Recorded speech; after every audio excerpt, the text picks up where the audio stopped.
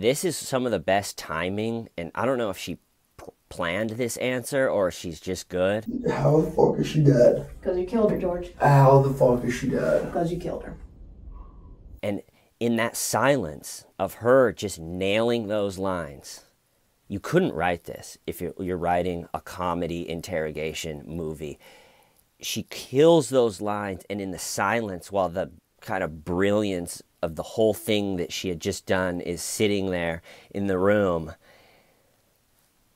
Ed, who hasn't said anything in a while, just goes, We're not here for any reason, George.